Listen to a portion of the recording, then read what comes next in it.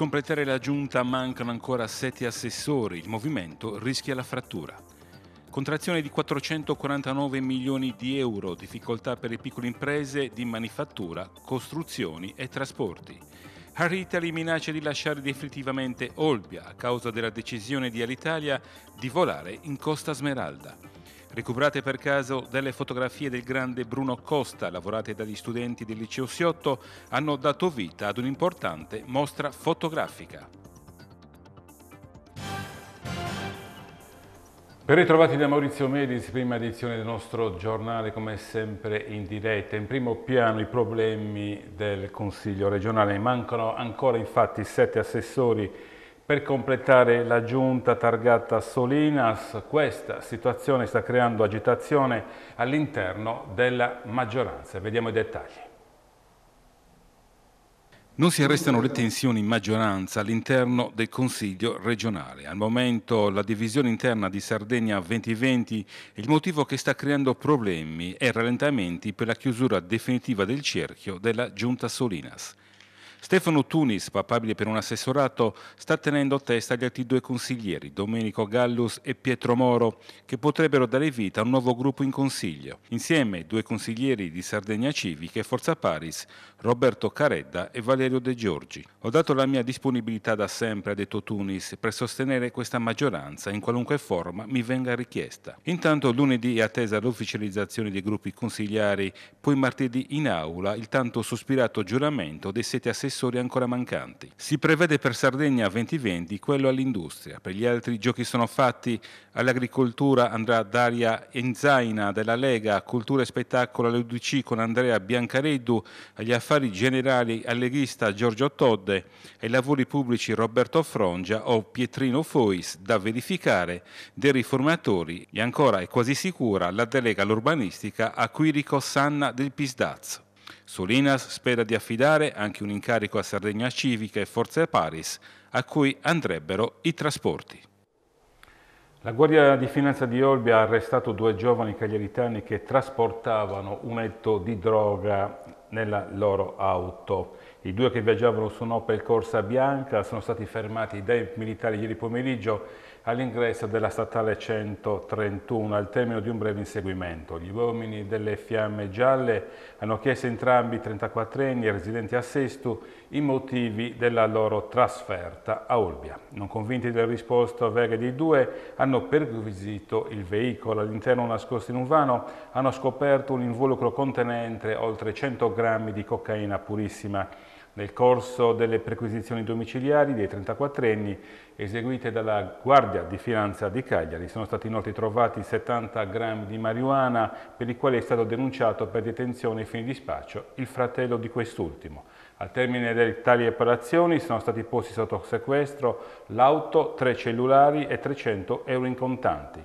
Arrestati i due si trovano ora nel carcere di Nukis. Tra il 2009 e il 2017 in Sardegna gli investimenti pubblici in infrastrutture sono crollati del 35,1%, dato che preoccupa non poco. Gli investimenti pubblici in Sardegna dedicati alle infrastrutture sono crollati del 35,1%, registrando una contrazione di 449 milioni di euro. Per effetto di questo dato allarmante, nel 2018 il loro valore ha superato di poco gli 800 milioni di euro, utilizzati per la costruzione, manutenzione, acquisto di edifici o altri beni quali strade, porti, aeroporti e interventi nei centri abitati. Questa situazione sta mettendo in difficoltà le 23.410 piccole imprese di manifattura, costruzione e trasporti interessate allo sviluppo infrastrutturale, sia come utilizzatrici delle opere pubbliche, sia perché coinvolte nella loro costruzione e manutenzione, che danno lavoro a 64.340 persone.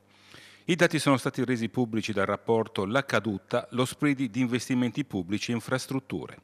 Questi dati confermano come le richieste delle imprese siano fondate sulla necessità di finanziare e realizzare le infrastrutture in tempi ragionevoli e certi, ha commentato Giacomo Meloni, presidente di Confartigianato Edilizia Sardegna, perché si è perso troppo tempo e nessuno può pensare di imbalsamare l'isola e l'intero paese, ovvero bloccare tutto il sistema intermodale di trasporto, merci e persone, i collegamenti con porti e aeroporti. Nell'isola la spesa per i beni e opere immobiliari è composta per circa due terzi, il 62%, da quella delle amministrazioni locali e regionali e per il restante 31,8% da quella delle amministrazioni centrali. Formaggi dell'Alta Marmilla in gara fra 11 giorni in uno dei siti archeologici meno conosciuti del territorio. Nel pomeriggio di martedì 23 aprile quattro aziende che trasformano il latte in prodotto finito nel territorio si contenderanno il titolo dei migliori aromi in Marmilla, il titolo del primo contest di formaggi confezionati nella zona organizzate dal Comitato di San Salvatore di Figu, frazione di Gondosno, in occasione della tradizionale festa campestre il giorno dopo Pasquetta. Contest con una missione importante, accendere i riflettori anche sui formaggi di nicchia e farli apprezzare al pubblico e dunque ai consumatori, ha spiegato Simone Cocco, 36 anni, allevatore e veterinario di Figu. Non solo pecorino romano, puntiamo sulle produzioni alternative. L'appuntamento è per le 15.30 nell'area archeologica del Pozzo Sacro di San Salvatore nelle campagne di Figu.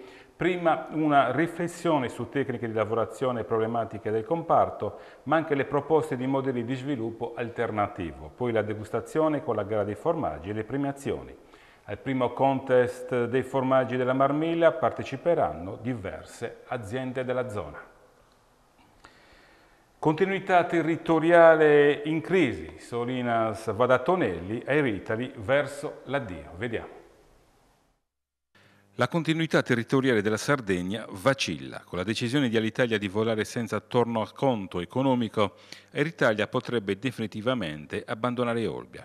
All'orizzonte due continuità differenti. Un modello, quello attualmente in vigore, è stato prolungato ancora per un anno, mentre a Cagliari Alghero, quello nuovo, proposto dalla Giunta Pigliaru a Olbia. Una novità è dietro l'angolo. Dal 17 aprile l'isola utilizzerà per la prima volta un sistema di collegamenti aerei a doppio binario, con la possibilità che la compagnia nei tre aeroporti potrebbe essere solo una, all'Italia. Airtalia, dopo la decisione della compagnia concorrente di volare in Costa Smeralda senza compensazioni economiche, sta pensando di tornare sui propri passi, perché se le cose dovessero rimanere in questo stato, tutte e due si spartirebbero i voli.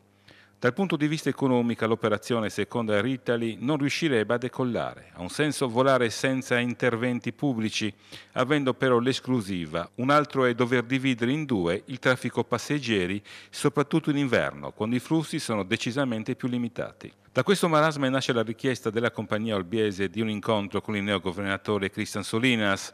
Se non si dovrebbe trovare una soluzione adeguata, la compagnia potrebbe decidere di rinunciare alla continuità come ha fatto intendere. Un dietro front significherebbe salutare definitivamente Olbia. Oggi in programma un vertice a Roma, una riunione della Regione Sardegna e il Ministro dei Trasporti, dove all'ordine del giorno non è inserito soltanto quello della continuità principale tra Roma e Milano, ma anche del piano Solinas, che prevede il ripristino della CT2, continuità territoriale 2 e la scadenza della convenzione con la Tirrenia ormai prossima. Stava percorrendo l'asse mediano di Cagliari a bordo della sua Polo quando all'improvviso ha perso il controllo andando a sbattere contro il guardrail al centro della carreggiata. Ora è ricoverato all'ospedale Marino dove è stato trasportato in codice giallo per vie di alcune ferite. Protagonista a suo malgrado dell'incidente è avvenuto al chilometro 6,1 in direzione Poeta un 28enne cagliaritano. Sul posto dopo l'allarme sono intervenuti gli uomini della Polizia Municipale e i sanitari del 118. Mentre questi ultimi si sono occupati di soccorsi, i vigili hanno messo in sicurezza la strada ed effettuato i rilievi di legge. A loro ora il compito di ricostruire l'esatta dinamica e le cause dell'incidente. Con un investimento di 300.000 euro si procede con l'ampliamento e la sistemazione dell'intera area del nuovo cimitero Serbagusa Macomer. È stato infatti approvato il progetto esecutivo e definitivo per creare i servizi necessari, compresa la sistemazione della strada di accesso un'opera importante per completare quell'area con la realizzazione immediata di altri 250 loculi in aggiunta ai 300 esistenti realizzati nella prima tranche. La grada appalto sarà pubblicata i prossimi giorni. Oltre i tombini all'interno della nuova area cimiteriale saranno effettuati diversi interventi. Si provvederà in particolare a dotare la struttura di servizi mancanti e indispensabili come i camminamenti interni, i marciapiedi esterni e l'illuminazione. Nell'area di fronte all'ingresso invece saranno realizzati parcheggi con almeno 300 posti auto all'ingresso dell'attuale strada di penetrazione agraria che sarà allargata e la Berati ha realizzato entro l'anno un largo marciapiede e prevista la realizzazione di una rotonda con un stile particolare che rimanda in murati e secco. Al centro del suo basamento sarà sistemata una grande croce, sarà realizzato anche il cosiddetto giardino delle rimembranze dedicato a coloro che professano altre religioni. Era questa l'ultima notizia della prima parte del nostro giornale, adesso andiamo in pubblicità, poi subito dopo. Seconda parte del nostro giornale, una mostra fotografica con le immagini trovate per caso di Guido Costa, grazie al lavoro degli studenti del liceo Siotto, sono diventate una mostra che verrà inaugurata stasera alle 18.30 presso il Palazzo Reggio di Cagliari.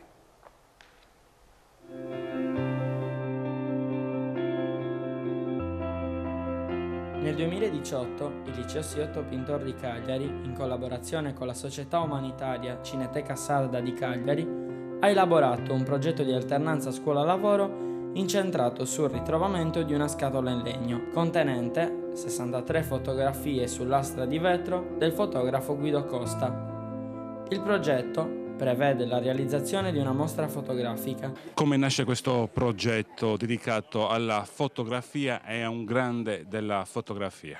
È un progetto che nasce come progetto di alternanza scuola-lavoro, la Cineteca Sada da anni cerca di lavorare dentro le scuole per promuovere la cultura cinematografica e fotografica. Con il Liceo C8 di Cagliari abbiamo lavorato un progetto che mh, prevedeva il lavoro degli studenti sul fondo fotografico Costa che è depositato al liceo. Si tratta di 63 vetrini fotografici del grande fotografo sardo. I ragazzi hanno studiato le foto, le hanno digitalizzate, hanno preparato le didascalee, hanno fatto la grafica della mostra e appunto abbiamo finalizzato tutto questo lavoro alla realizzazione di una mostra che inauguriamo stasera alle 18.30 al Palazzo Reggio e poi con i ragazzi abbiamo anche realizzato un video dedicato al fotografo interamente realizzato da loro, cioè loro ne hanno curato la, il montaggio e la fotografia. Però la Cineteca Sarda non da tutti è conosciuta, perché? Beh, il nostro lavoro è quotidiano, noi ci facciamo conoscere ogni giorno con il nostro lavoro. Devo dire la verità che facciamo un lavoro che sta molto dietro le quinte perché il nostro è un lavoro d'archivio.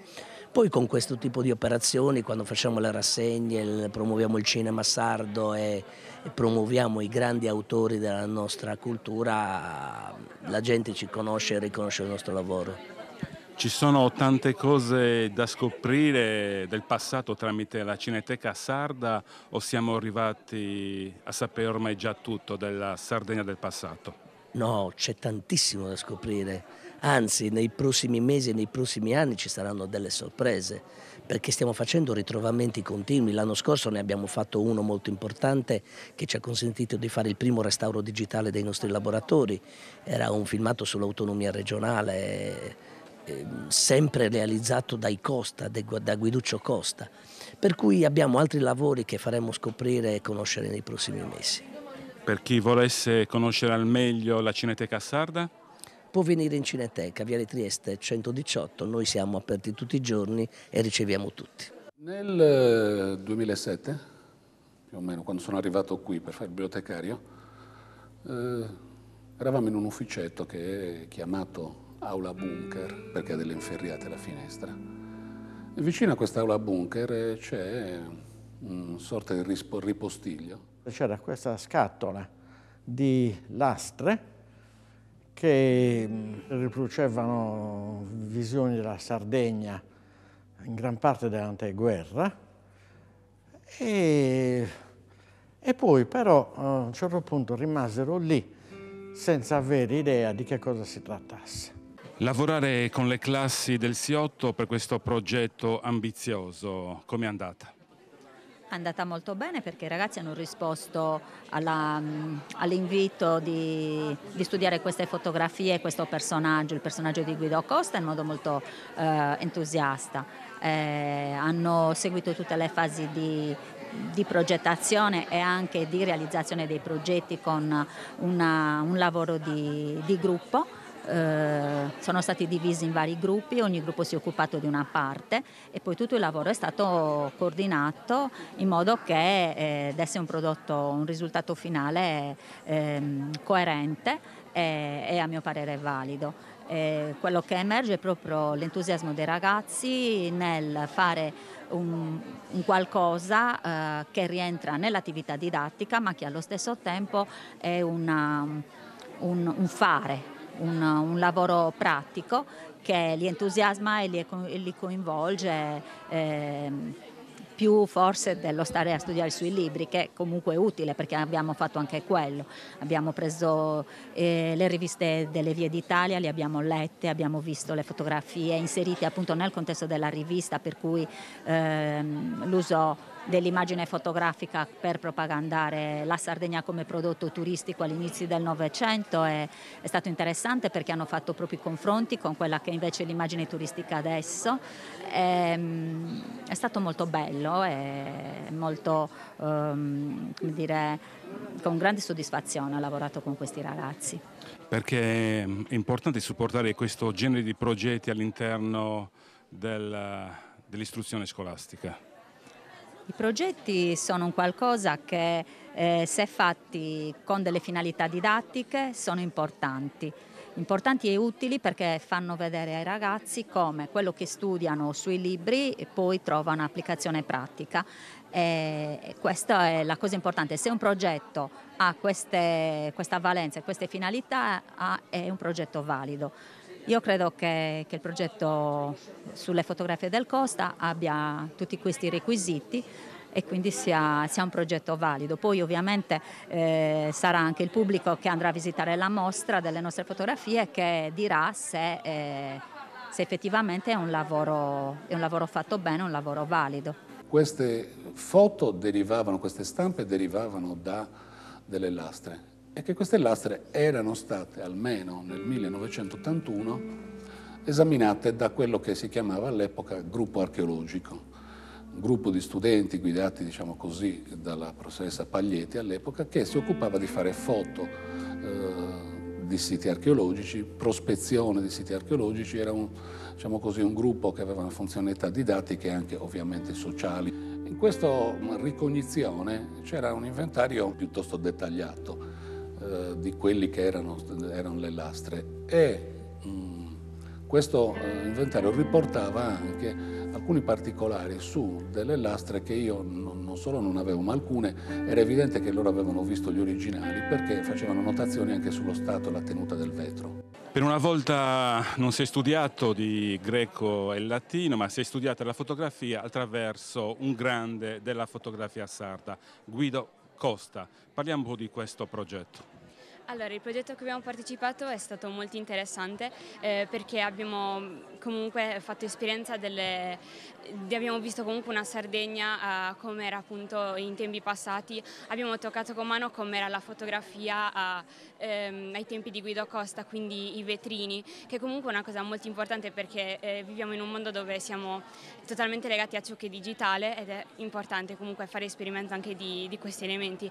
Poi, ehm, è proprio stato importante il confronto eh, anche magari rispetto agli edifici, prendiamo l'esempio di Cagliari, eh, numerose foto eh, rappresentavano gli edifici che aveva fotografato Guido Costa, noi siamo andati lì e abbiamo visto come si presentano adesso. E secondo me comunque questo, questa comparazione è fondamentale per capire come, l'evoluzione de, delle persone, delle comunità, delle città. Perché secondo lei è importante inserire nei progetti delle scuole questo genere di iniziative?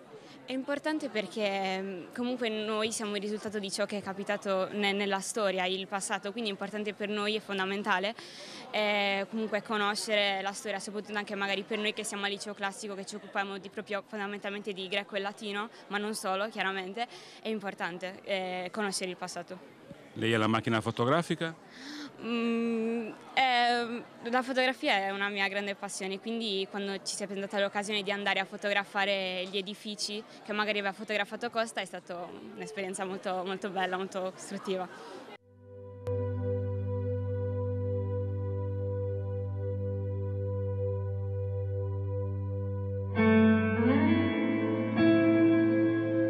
sulla diciamo così, parte superiore della scatola c'era una firma, come se fosse una nota di possesso, c'era scritto Guido Costa.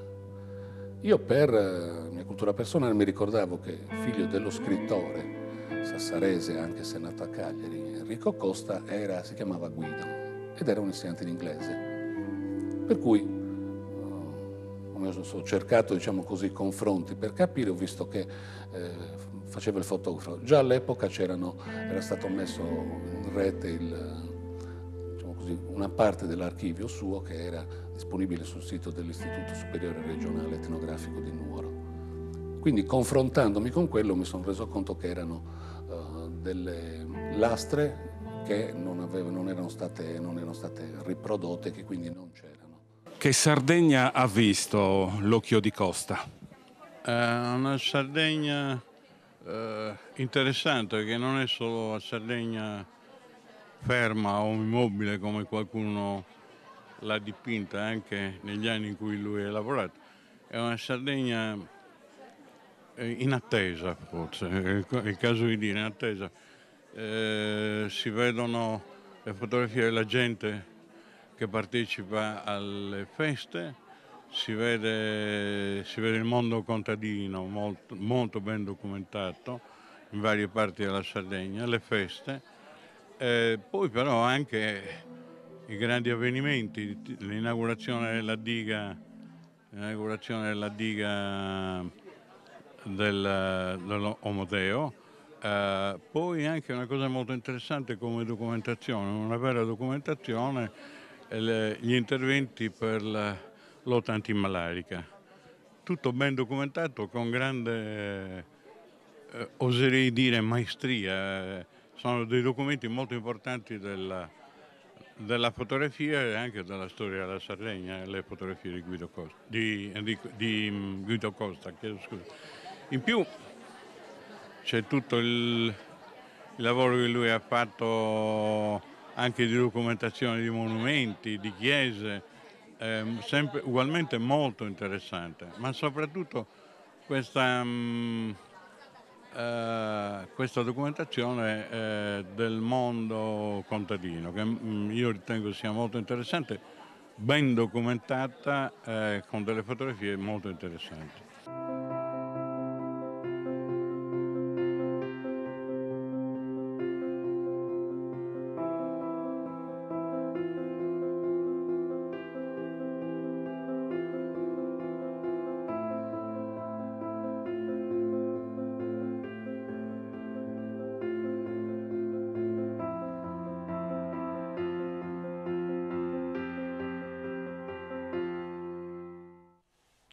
Tutto, grazie per l'attenzione, buona serata a tutti.